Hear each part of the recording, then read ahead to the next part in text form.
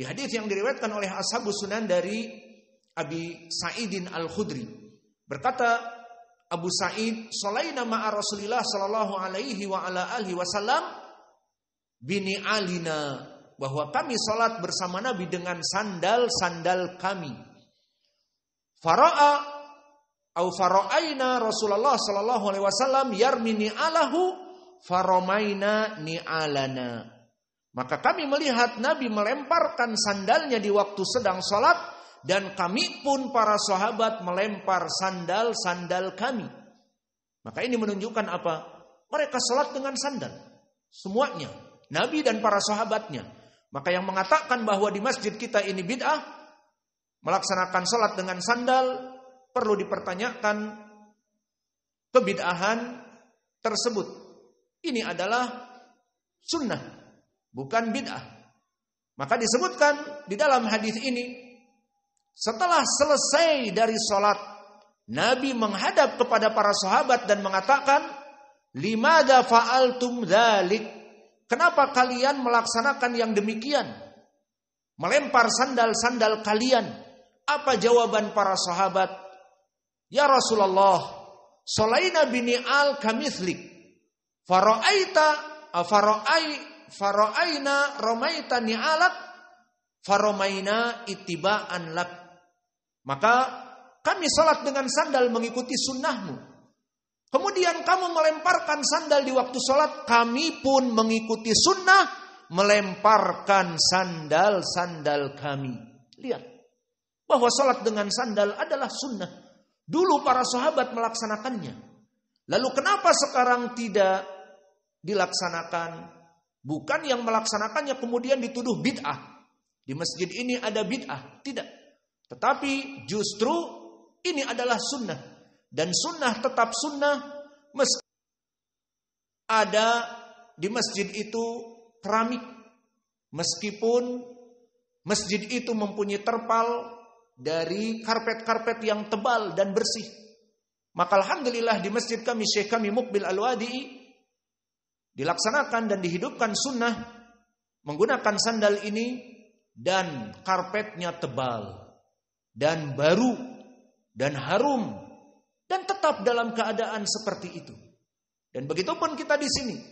Antum semua mempersaksikan masjid kita celing dari keramik yang putih mengkilap. Tidak ada dari perkara-perkara menghidupkan sunnah ini menjadi kotor, menjadi jorok, karena semuanya ada tuntunannya. Maka syahidnya di sini dulu Nabi Muhammad sholat dengan sandal dan para sahabat pun sholat dengan sandal. Di saat Nabi melemparkan sandal karena ada sesuatu, para sahabat pun melemparkan semuanya. Itibaan kepada Nabi, mengikuti sunnah Nabi.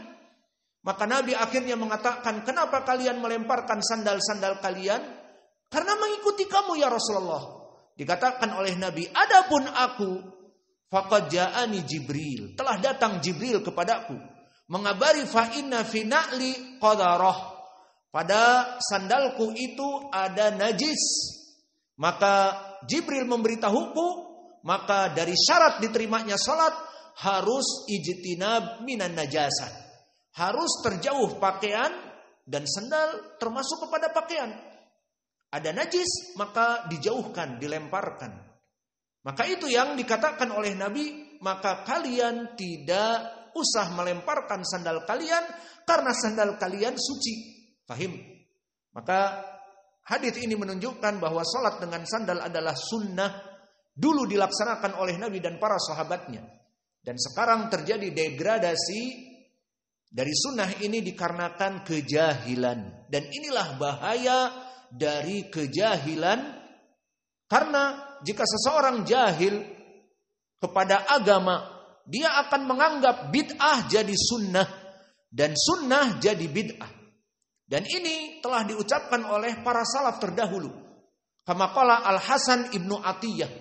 Berkata Al Hasan ibnu Atiyah yang sanadnya sahih diriwayatkan oleh Al Lalikai di kitabnya Syarhu Ashabi Sunan ataupun syarhu i'tiqad ahli sunnah wal jamaah dan juga Imam Ahmad atau Ibnu Ahmad Abdullah Ibnu Ahmad di kitabnya As-Sunnah dengan sanad yang sahih disebutkan oleh Hasan ibnu Atiyah Ida ibtada qaumun jika suatu kaum melaksanakan bid'ah rafa Allahu as-sunnah hatta intishar al-bid'ah maka Allah akan mengangkat sunnah tersebut dimatikan sunnah tersebut maka akhirnya yang sunnah menjadi bid'ah dan bid'ah menjadi sunnah. Maka inilah kenyataannya sekarang. Bahwa di masjid-masjid tidak ada adan awal. Maka para marbot mereka bangun fajr. Sebelum fajr jam 4 dan sekarang jam 3.50, 3.40. Maka mereka bukannya adan awal malah mendendangkan Al-Quran. Mungkin mereka takut kalau adzan awal itu mungkin dikira bid'ah. Dan begitu pun kita melaksanakan sunnah, sholat dengan sandal, ada yang mengatakan bahwa di masjid ini bid'ah. Karena kejahilan. Dan begitu pun dari sunnah-sunnah semua. Yang termatikan, maka akan dianggap itu adalah bid'ah seperti sholat dua rakaat sebelum maghrib. Dan itu yang kami rasakan dulu. Sebelum punya masjid kita bergerilya melaksanakan pelajaran-pelajaran di masjid-masjid awam dan setiap kita menjadi pembicara kita sholat maghrib setelah sholat maghrib kita memberikan ceramah maka setelah adzan maghrib kita ingin melaksanakan sholat di masjid itu langsung diikomati sholat tidak diberikan waktu untuk melaksanakan sunnah setelah ditanya dan dibahas dengan marbot dan juga dengan takmir masjid bahwa mereka terheran-heran. Emang ada sunnah dua rakaat sebelum maghrib. Maka kita sebutkan di Sahih Al Bukhari dari Abdullah bin Zaid, Sallu rok'atain qoblal maghrib, sallu rok'atain qoblal maghrib, sallu rok'atain qoblal maghrib liman sya'a. Salatlah dua rakaat sebelum maghrib, salatlah dua rakaat sebelum maghrib bagi yang mau. Maka mereka terheran-heran dengan hadis ini. Karena mereka tidak mengetahui ada dua rakaat sebelum maghrib. Bertahun-tahun ditinggalkan sunnah ini. Sehingga yang sunnah menjadi bid'ah. Dan bid'ah menjadi sunnah. Maka tidak adanya sholat sebelum maghrib bid'ah dijadi sunnah. Dan sunnah menghidupkan dua rakaat sebelum maghrib disangka bid'ah. Maka ini bahaya dari Orang-orang yang mematikan sunnah dikarenakan kebodohan. Dia akan mengatakan yang sunnah menjadi bid'ah. Dan yang bid'ah dianggap sunnah. Maka kebodohan kepada agama adalah obatnya dengan menuntut ilmu. Maka di dalam pembahasan ini, inilah kaidah yang pertama Barang siapa yang membantu kepada orang-orang yang melaksanakan peribadatan, dia mendapatkan pahala secara umum. Dan kembali kepada permasalahan. Apakah disyaratkan orang yang memberikan iftar soim harus kepada mereka soimnya puasa Ramadan dan tidak boleh kepada puasa sunnah? Maka jawabnya tadi tidak disyaratkan. Orang yang memberikan makanan harus kepada orang yang berpuasa Ramadan saja. Bisa jadi orang yang berpuasa Senin Kamis. Bisa jadi orang yang berpuasa sunnah-sunnah yang bukan wajib. Maka inilah jawaban tadi kepada pertanyaan apakah pahala di sini bagi mereka orang-orang yang puasa Ramadan saja atau boleh juga kepada orang yang berpuasa sunnah? Jawabnya bersifat umum. Mana wajah pendalilan? Hadis ini disebutkan tadi dari dua sahabat dengan lafaz toro so iman. Apa i'rab iman? Ini wajah pendalilannya. Maka so iman di sini nakirah. Di siak apa? Syarat manfaat toro. Syaratnya siaknya siak syarat kalimat yang menunjukkan syarat, jumlah yang menunjukkan syarat, manfaat toroso iman. Barang siapa yang memberikan makanan kepada so iman, nakiroh. disiak syarat memberikan makna umum suf hadal walad kultulak. Num hali itawadda maka disebutkan ada walad naum la fi daras fajr wala maghrib wala isya. Naum arba wa isrin sa'ah maka di sini man fatara iman so iman nakirah dalam siap syarat menunjukkan bahwa barang siapa yang memberikan makanan kepada orang yang berpuasa bersifat umum. Orang yang berpuasanya apa? Puasa sunnah. Isnin wal khamis. Au salatati ayam fi syahr ayamul bid. Au siam Daud. Au siam Ramadan kulluha sawa. Manfatara iman. Barang siapa yang memberikan orang yang berpuasa makanan untuk berbuka, puasa wajib, puasa sunnah sama saja. Maka man di sini ismu syarat yufidul umum. Maka oleh sebab itu jawaban dari pertanyaan kita tadi faidah bahwa puasa apa saja pahalanya sama. Maka kesimpulannya jika kita memberikan iftar untuk puasa Ramadan, maka pahalanya jelas lebih besar daripada iftar puasa Senin dan Kamis. Maka dia mendapatkan pahala yang besar dikarenakan memberikan iftar dari puasa Ramadan yang wajib. Puasa Senin Kamis sunnah. Maka memberikan iftar kepada puasa yang wajib pahalanya lebih besar karena ibadah puasa yang wajib puasa Ramadan pahalanya lebih besar dari puasa sunnah. Al-faidah al yang kita sebutkan tadi Faidah yang ketiga, bagaimana jika orang yang memberikan iftar wahwa saim? Dukira fil hadis man fattara saiman falahu ajr kamitsli saim la yang min dalika syai'an. Orang yang memberikan buka puasa dia mendapatkan pahala seperti orang yang berpuasa. Pertanyaannya di sini, apakah disyaratkan dia harus tidak puasa? Pahim? Contohnya antum melaksanakan puasa. Dan ada perempuan yang haid. Fahadat la yajuz antasum. Tidak boleh dia berpuasa dari syarat. Dilarang. Fala tusol walam tusom. Orang yang berpuasa, eh, orang perempuan itu yang haid tidak boleh berpuasa dan tidak boleh sholat. Hukumnya haram. Maka di sini dia ingin mendapatkan pahala. Taib. Saya ingin memberikan iftar saim. Maka dia memberikan makanan kepada yang berpuasa. Di sini dia mendapatkan pahala. Seperti orang yang berpuasa dan dia tidak berpuasa. Fahim? Dan di sini pertanyaannya tadi besar. Lalu bagaimana jika dia sama-sama berpuasa juga? Di sini dia perempuan juga, namun dalam keadaan tidak haid. Maka dia pun berpuasa. Ibu-ibu ini berpuasa.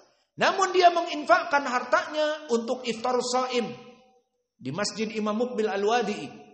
Misalnya. Maka dia di saat menginfakkan hartanya itu dan dia berpuasa tidak haid. Maka pertanyaan yang besar apakah dia mendapatkan pahala yang sama atau tidak mendapatkan pahala karena dia telah berpuasa. Maka sama. Jawabnya dengan kaidah yang umum tadi, barang siapa yang membantu untuk melaksanakan berbuka puasa, meskipun dia telah berpuasa maka dia tetap mendapatkan pahala, sehingga jawaban yang ketiga tidak disyaratkan juga. La yustaratu lilladhi yufattir ma'ahu an yasuma Ramadan bal qad rubama siyamul wajib al-akhar. Faqada Ramadan au nadhr au kafarah wa kadalika asyam al-mustahab wa kadalika hada rajul alladhi yunfik malahu qad rubama shaim au qad rubama musafir atau sakit maka semuanya sama. La yustarat lilladhi yufatir as-shaim an yakuna muftiran maka tidak disyaratkan orang yang memberikan makanan puasa itu harus dia orang yang tidak puasa. Seperti musafir dari laki-laki atau dia sakit atau perempuan yang haid tidak. Maka di sini bersifat umum. Manfaat iman maka di sini wajah pendalilannya bukan lafaz iman. Kalau tadi lafaz iman untuk orang yang berpuasa wajib ataupun sunnah, namun di sini man fatara iman, man di sini ismun syarat. Dan ismun syarat di ilmil usul yufidul umum. Maka man di sini barang siapa bersifat umum. Maknanya barang siapa dia perempuan yang haid yang tidak puasa, kemudian memberikan makanan orang yang berpuasa, dia mendapatkan puasa seperti orang yang memakan makanan darinya. Namun man syartiyah di sini bersifat umum juga bagi laki-laki atau perempuan yang tidak haid. Dia puasa Ramadan juga dan memberikan infak kepada orang-orang yang berpuasa, maka dia tetap mendapatkan pahala. Jadi gambarannya bagaimana? Disebutkan oleh para ulama, gambarannya dia mendapatkan pahala dari puasanya dia sendiri dan mendapatkan pahala dari orang-orang yang memakan makanan infak dari iftar, takjil, soim dari yang dia berikan. Berarti pahalanya bisa double. Naam. Apalagi di dalam hadis telah disebutkan hadis yang mutafakun alaih dari Abi Hurairah Fa inna siyamuli wa ana ajzibih yada ta'amahu wa syarabahu li ajli. Asyamuli wa ana ajzibihi. Di mana orang-orang yang berpuasa itu pahalanya di sisiku. Puasanya itu untukku. Di mana dia di siang hari melahan, menahan lapar dan haus dan rindu kepada istrinya, maka di sini yang menjadi poin pendalilan orang ini mendapatkan pahala bisa jadi berlipat-lipat. Pertama, dari puasa Ramadannya.